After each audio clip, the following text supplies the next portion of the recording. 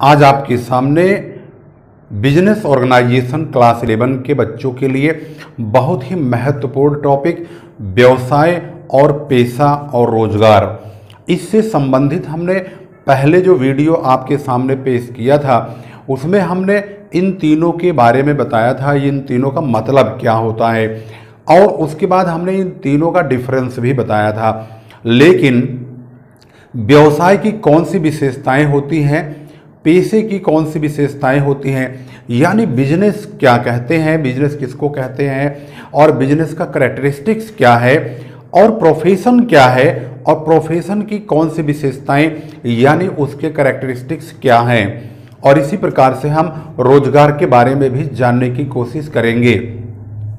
और आपको इसमें आपका सहयोग करेंगे। मिस्टर परफेक्ट और मिस्टर इंटेलिजेंट। दो प्रकार के लोग आपके सामने, आपके इस प्रकार के विचारों को रखेंगे और एक एक पॉइंट आपको समझाएँगे। तो पहले आप एक एक करके इन लोगों से व्यवसाय की विशेषताओं के बारे में जानकारी लीजिए और फिर मैं लास्ट में, रोज़गार क्या है?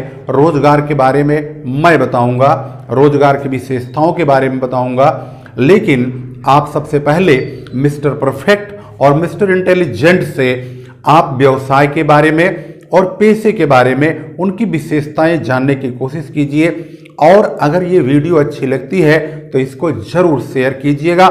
यदि चैनल को अभी तक आपने सब्सक्राइब नहीं किया है तो तमाम वीडियोज़ की अपडेट्स पाने के लिए इस चैनल को सब्सक्राइब कीजिए और वीडियो को लास्ट तक ज़रूर देखा कीजिए। जैसे कि सर ने बताया है कि हम दोनों, मैं और मिस्टर इंटेलिजेंट, आपको ये बताएँगे कि व्यवसाय और पेशा क्या चीज़ है। व्यवसाय और पैसे में क्या विशेषताएँ पाई जाती हैं, इसके बारे में भी हम दोनों स्टेप बाय स्टेप चर्चा करेंगे। सबसे पहले हम ये बताना चाहेंगे कि व्यवसाय क्या चीज़ होता है। कोई भी कार्य, यानी बिज़नेस के बारे में अगर हम बात करते हैं तो कोई भी कार्य यदि धन कमाने के उद्देश्य से किया जाता है तो उसको हम व्यवसाय कहते हैं, उसी को ही बिज़नेस कहते हैं। वैसे तो किसी भी कार्य में हम बिज़ी रह सकते हैं किसी भी कार्य को कर सकते हैं लेकिन धन कमाने का जो मुख्य उद्देश्य है वही बिज़नेस कहलाता है। ले, लेकिन इस बात का ध्यान रखना ज़रूरी है कि व्यवसाय लीगल होना चाहिए यानी वह कार्य करने की जो प्रक्रिया है वह वैध होनी चाहिए कानून के द्वारा अमान्य घोषित किया हुआ कार्य ना हो। वैसे तो कोई चरस बेचने लग जाएगा तो वो कौन सा बिज़नेस है कोई? नहीं क्योंकि वो लीगल नहीं है। लीगल होना बहुत ज़रूरी है, कानूनी होना बहुत ज़रूरी है। अब हम बात करेंगे व्यवसाय की विशेषताओं के बारे में। मैं और मिस्टर इंटेलिजेंट एक एक करके आपको व्यवसाय की विशेषताओं के बारे में बताएँगे। सबसे पहली विशेषता है जोखिम, यानी व्यवसाय के सबसे पहली विशेषता है रिस्क मीन्स जोखिम। हर प्रकार के बिज़नेस की शुरुआत लाखों करोड़ों रुपए से होती है। उस व्यवसाय को शुरू करने के लिए जब लाखों करोड़ रुपए लगाए जाते हैं तो उसमें लाभ कमाने की जो निश्चित निश्चितता होती है सर्टैनिटी होती है, वह फिक्स नहीं होती है। यानी प्रॉफिट भी होता है लॉस भी होता है। जब बिज़नेस में लॉस होता है तो वही रिस्क होता है। उस रिस्क को झेलने के लिए बड़ी हिम्मत चाहिए। एक साल कोई झेल लेगा, दो साल झेल लेगा, तीसरे साल झेलने के बाद टै बोल जाएगा। वो नहीं कर सकता क्योंकि उसकी लॉस झेलने की हिम्मत नहीं होगी। भाई, कितना झेलेगा वो? घाटा घाटा घाटा कहाँ से कर लेगा बिज़नेस इस प्रकार से हर प्रकार के व्यवसाय में पहली विशेषता रिस्क ही होती है। अब बताएँगे दूसरी विशेषता, मिस्टर इंटेलिजेंट दूसरा पॉइंट है विनिमय तत्व। अर्थात बिज़नेस के अंदर लेन देन का होना बहुत ज़रूरी है। यानी एक्सचेंज जो एलिमेंट है, वह बहुत ज़रूरी है। बिज़नेस में हमेशा एक्सचेंज एलिमेंट बहुत ज़रूरी होता है। अगर किसी भी बिज़नेस में अगर एक्सचेंज एलिमेंट नहीं पाया जाता है तो उसको हम व्यवसाय किसी भी एंगल से नहीं कह सकते हैं। तीसरी विशेषता है वस्तु और सेवाओं का लेन देन यानी व्यवसाय में हमेशा वस्तु और सेवाओं का लेन देन बहुत ज़रूरी होता है। Dealing in goods and services. जब व्यवसाय में इन चीज़ों को वस्तु और सेवाओं का लेन देन शामिल नहीं होता है तो उसको व्यवसाय नहीं कह सकते। यानी बिज़नेस के अंदर वस्तु और सेवाओं का लेन देन होना बहुत ज़रूरी है। Number fourth point, mister intelligent, आपका नंबर है।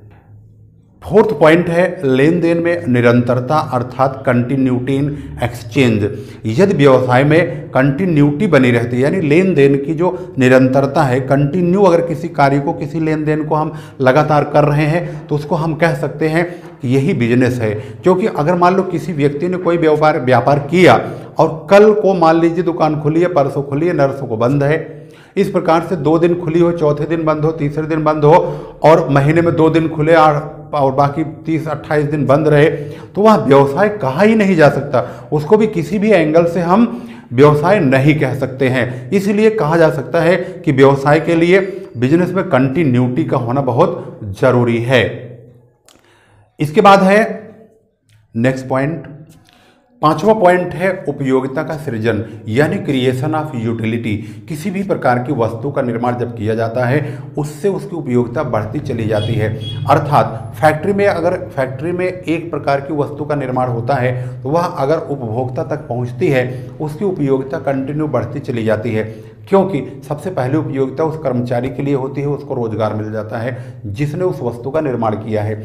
वह वस्तु सबसे पहले उस ट्रांसपोर्टेशन ड्राइवर के द्वारा उस गाड़ी के ड्राइवर के द्वारा होलसेलर के पास जाती है। वहाँ पर गाड़ी के ड्राइवर को भी ट्रांसपोर्टेशन से उसको ले जाने में जो पारिश्रमिक मिलता है, जो उसका उपयोगिता बढ़ती है, उसको उसको ड्राइवर को भी लाभ मिलता है। होलसेल व्यापारी के पास जाने के बाद फिर उसकी उपयोगिता बढ़ती है, उसको भी रोज़गार मिलता है। वह फिर फुटकर व्यापारी के पास आता है, फुटकर व्यापारी को भी कुछ लाभ मिलता है। उसके बाद अंत में वह उपभोक्ता तक पहुँचती है। उपभोक्ता उस वस्तु को प्रयोग करके संतुष्ट होता है। इस प्रकार से उपयोगिता का सृजन होता है, यानी क्रिएशन ऑफ़ यूटिलिटी होता है। व्यवसाय की ये बहुत महत्वपूर्ण विशेषता है, जिसमें हर प्रकार का व्यक्ति खुश हो जाता है। नेक्स्ट अगला है लाभ उद्देश्य, यानी कि प्रॉफिट कमाने का मुख्य उद्देश्य ही व्यवसाय का होना चाहिए। कोई भी व्यवसायी अगर ऐसा कोई कार्य करता है जिससे उसको कोई फ़ायदा ही नहीं होता है तो वह बिज़नेस करेगा ही क्यों? अर्थात हर प्रकार के व्यवसाय का मुख्य उद्देश्य लाभ कमाना ही होता है। यदि वह लाभ अर्जित कर रहा है तो उसको हम व्यवसाय कहेंगे। यदि वह लाभ अर्जित नहीं कर रहा है तो वह किसी भी एंगल से व्यवसाय नहीं कहा जा सकता है। सातवां पॉइंट है सेवा भाव। सेवा भाव से मतलब होता है हर प्रकार का बिज़नेस का जो उद्देश्य होता है, वो सेवा करना होता है। जब भी कोई वस्तु या सेवा का निर्माण होता है, वह समाज के सामने परोस दिया जाता है, उनके सामने पेश किया जाता है, जिससे कि समाज में उस वस्तु से एक प्रकार से सर्विस दी जा सके, जिससे समाज को उसका लाभ मिल सके। यदि कोई व्यवसाय या कोई व्यापार अगर समाज के सेवा के लिए नहीं होता है, वह व्यवसाय की श्रेणी में होता ही नहीं है। क्योंकि भाई, ऐसा कौन व्यक्ति है जो ऐसी वस्तु बनाएगा जिससे किसी को फ़ायदा ही ना हो? तो उसे सेवा भाव क्या हुआ उसका? कुछ नहीं हुआ। यानी व्यवसाय में सेवा भाव का होना बहुत ज़रूरी है। नेक्स्ट आठवां पॉइंट है मानवीय क्रिया, यानी कि मनुष्य के द्वारा किया जाने वाला कार्य ही व्यवसाय की श्रेणी में आता है। यदि जानवरों ने किसी कार्य को किया है, जीव जंतुओं ने किसी कार्य को किया है, उसको व्यवसाय की श्रेणी में नहीं जाना जा सकता है।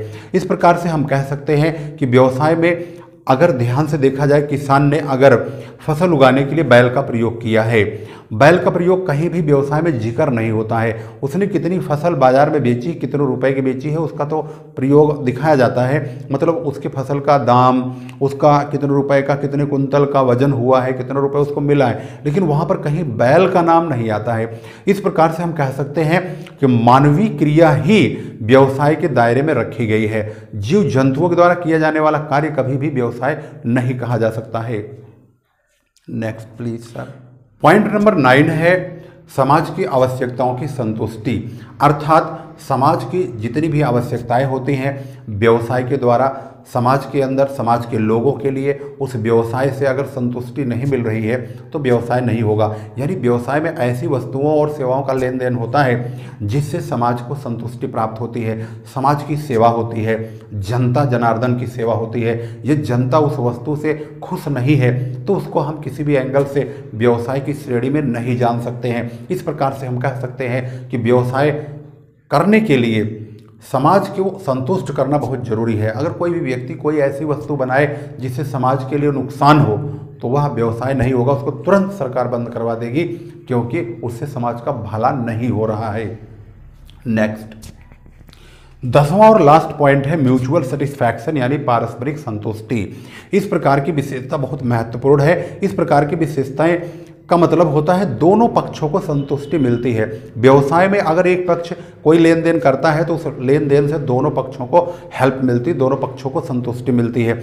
यदि व्यवसाय में एक व्यक्ति को लाभ हो, दूसरे व्यक्ति को नुकसान हो तो वहाँ पर व्यवसाय लंबा नहीं चलता है। फिर वो एक ना एक दिन टै बोल जाता है और वहाँ पर नुकसान होने की संभावना लगातार जब होती है तो व्यवसाय ज़्यादा दिन तक नहीं चलता है। यहाँ पर जब भी व्यवसाय होता है, दोनों पक्षों को लाभ होता है और हर पक्ष हर प्रकार के पक्ष को म्यूचुअल अर्थात उनको आपस में पारस्परिक संतुष्टि भी मिलती है और दोनों को प्रॉफिट भी मिलता है। यानी अगर मान लीजिए किसी कंपनी ने कोई माल बनाया, सपोज़ करो उन्होंने फ़ैन बना दिया, पंखा बना दिया, उस पंखे को खरीदने वाला एक कस्टमर यदि पंखे को लेके जाता है पंखे का उसने पैसा भी दिया है, पंखे को ले गया अब यूज़ करता पंखा हवा ही नहीं देता है, वह संतुष्ट नहीं होगा, वो दुकान पर ला फेंक जाएगा, कहेगा, मेरे पैसे दो और मुझे पंखा नहीं चाहिए। क्यों? क्योंकि उसने, वह उसको संतुष्ट ही नहीं हुआ, उसको हवा ही नहीं मिला। तो यानी वह पंखा जब नहीं बिकेगा तो व्यवसाय ही नहीं होगा। इसका मतलब ये होता है कि आपसी संतुष्टि का होना बहुत ज़रूरी है। Without mutual satisfaction there is no business and human activities are only business human activity ही मनुष्य के द्वारा किया जाने वाला कार्य बिज़नेस के दायरे में रखा गया है। इस प्रकार से हमने यहाँ पर टेन करेक्टरिस्टिक्स बिज़नेस के बारे में अंडरस्टैंड किया, समझा है। तो बात करेंगे पैसे के बारे में। आखिर पैसा क्या चीज़ होता है? जब कोई व्यक्ति अपने ज्ञान से, अपने निपुणता से, अपने कौशल से, अपने मस्तिष्क ज्ञान से कुछ प्राप्त करता है, कुछ धन अर्जित करता है तो उसको हम पेशा कहते हैं। जैसे डॉक्टर ने डॉक्टर की पढ़ाई की M B B S M S कुछ बना, कुछ डिग्री उसके पास आई, उसने उसका प्रयोग किया, कुछ एक्सपीरियंस लिया, उसके बाद अपनी क्लिनिक खोल लिया, उसके बाद वो अपने मरीजों की देखभाल कर रहा है। तो यहाँ इस प्रकार से जो प्रक्रिया संपन्न की गई, वह एक पेशेवर व्यक्ति के लिए बन चुकी है, यानी यही पेशा है।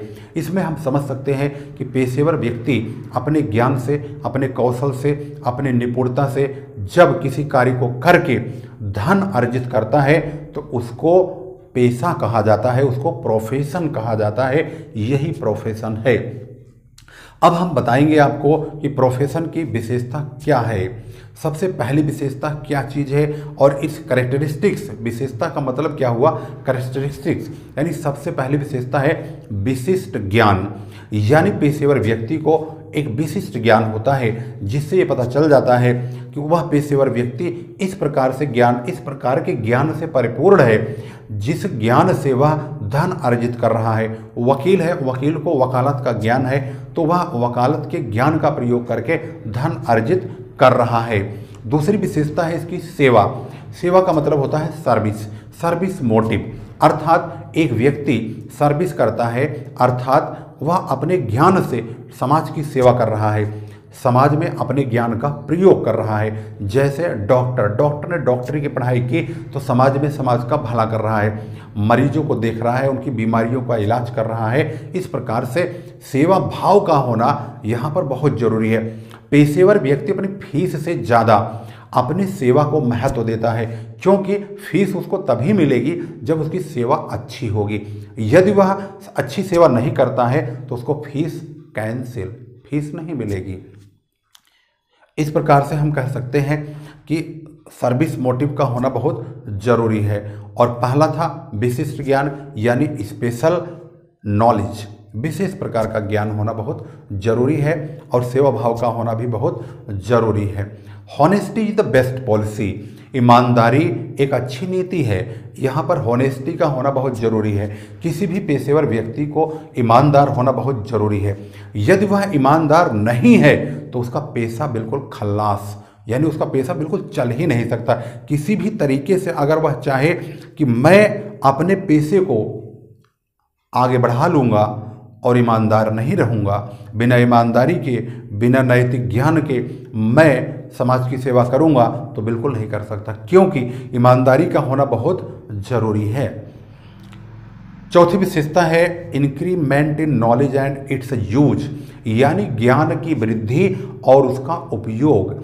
अर्थात जो पेशेवर व्यक्ति होता है, उसका ज्ञान कंटिन्यू बढ़ता चला जाता है और इसी ज्ञान की सहायता से उसको कंटिन्यू अपना ज्ञान का प्रयोग करने का मौका मिलता है। जैसे वकील वकील वकालत करते करते उसको बहुत एक्सपीरियंस होता है। फिर समाज में एक पहचान बन जाती है और उसकी फ़ीस भी बढ़ जाती है। इस प्रकार से उसकी कमाई भी बढ़ जाती है और इस प्रकार से वह व्यक्ति समाज के अंदर बहुत ज़्यादा इंटेलिजेंट माना जाने लगता है और उसके पास केसेज आने लगते हैं और इस प्रकार से उसका ज्ञान बढ़ता जाता है, अनुभव हो जाता है और उस ज्ञान और एक्सपीरियंस से उसको और लाभ कमाने का और कमाई करने का मौका मिल जाता है। यानी पेशेवर व्यक्ति जो होता है, जो पेशा, जो प्रोफेशन होता है, उसमें ज्ञान जो होता है, जो नॉलेज होता है, वो बहुत ज़्यादा मात्रा में बढ़ता चला जाता है। समय के साथ साथ उसके ज्ञान में वृद्धि होती है और वह उस ज्ञान का उपयोग करता है। अंतिम विशेषता है आचार संहिता, यानी कोड ऑफ़ कंडक्ट हर प्रकार के व्यवसाय के लिए कोड ऑफ़ कंडक्ट बना हुआ है।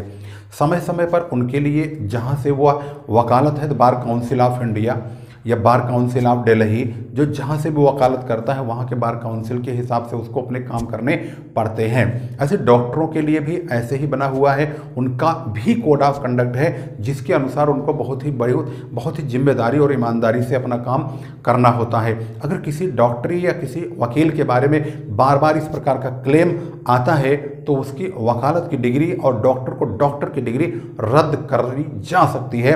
कोर्ट के द्वारा उसे अमान्य व्यक्ति घोषित किया जा सकता है और वह अपनी प्रैक्टिस को आगे जारी नहीं रख सकता है। इस प्रकार से कोड ऑफ़ कंडक्ट यानी आचार संहिता भी पेशे में पाया जाता है। इस प्रकार से आपने व्यवसाय और पेशे के बारे में अच्छी तरह से समझ लिया है। अब मैं बताऊँगा रोज़गार क्या होता है। जब कोई व्यक्ति अपने ज्ञान से, अपनी बुद्धि से अपने दिमाग से मानसिक संतुलन के साथ किसी दूसरे व्यक्ति के यहाँ पर कार्य करता है और अपने परिश्रम का, यानी अपने श्रम का दान करता है, यानी उस व्यक्ति को मेहनत करके देता है और मेहनत करके अपनी ऊर्जा उसके यहाँ पर खपत करता है और इस मेहनत से उसको जो वहाँ पर श्रम का जो उसका प्रतिफल प्राप्त होता है, यानी पारिश्रमिक प्राप्त होता है, उस पारिश्रमिक को वह वेतन या मजदूरी के रूप में प्राप्त करता है। इस प्रकार से हम यह कह सकते हैं कि एक व्यक्ति जब किसी दूसरे व्यक्ति के यहाँ पर अपने श्रम का उपयोग करता है और श्रम के उपयोग करने से जब उसे जो पारिश्रमिक या वेतन प्राप्त होता है, वह परिश्रम ही रोज़गार कहलाता है। इस प्रकार की जो प्रक्रिया संपन्न की जाती है, उसको हम रोज़गार की श्रेणी में समझते हैं। इसको अन्य प्रकार से अगर हम एग्ज़ाम्पल देना चाहें, उदाहरण देना चाहें तो यह कह सकते हैं कि मिस्टर रमेश ने एक्स लिमिटेड नाम की कंपनी में कार्य कर रहे हैं रेगुलर नियमित तौर पर वहाँ जाते हैं, काम करते हैं और महीने की दस तारीख को उनको तनख्वाह मिलती है, यानी सैलरी प्राप्त करते हैं। यहाँ पर मिस्टर रमेश को उस एक्स लिमिटेड में रोज़गार प्राप्त हुआ है और उसी कंपनी की बदौलत मिस्टर एक्स की जो है घर गृहस्थी संपन्न हुई है और चल रही है। यानी उनकी रोजी रोटी उस कंपनी की बदौलत ही चल रही है। यहाँ पर आसानी से अन्य शब्दों में हम व्यक्त कर सकते हैं कि जब कोई व्यक्ति किसी दूसरे व्यक्ति के यहाँ कार्य करता है तो कार्य करने वाला जो व्यक्ति है, वह श्रमिक या मजदूर कहलाता है और जिसके यहाँ पर कार्य करता है, वह उसका नियोक्ता या स्वामी कहलाता है। इसको हम अन्य शब्दों में कह सकते हैं कि जब कोई व्यक्ति किसी दूसरे व्यक्ति के यहाँ पर अपने श्रम का उपयोग करता है, अपनी मेहनत का उपयोग करता है, उसके बदले में वहाँ से वह पारिश्रमिक या वेतन के रूप में जो पार प्राप्त करता है, इस प्रकार की जो प्रक्रिया उसने संपन्न की है, उसी को ही रोज़गार कहते हैं। अभी अभी आपने मिस्टर परफेक्ट और मिस्टर इंटेलिजेंट के द्वारा व्यापार क्या है, यानी व्यवसाय क्या है और पेशा क्या है, इन दोनों के बारे में बहुत ही आसान शब्दों में जान लिया है और उनकी विशेषताओं पर उन्होंने स्टेप बाय स्टेप प्रकाश डाला है। मुझे उम्मीद है कि आपको ये वीडियो अच्छी भी लगी होगी और आपने इसको बहुत पसंद भी किया होगा। यदि आपको ये वीडियो पसंद आई है तो एक कमेंट ज़रूर कीजिए और वीडियो को लाइक अवश्य कीजिएगा।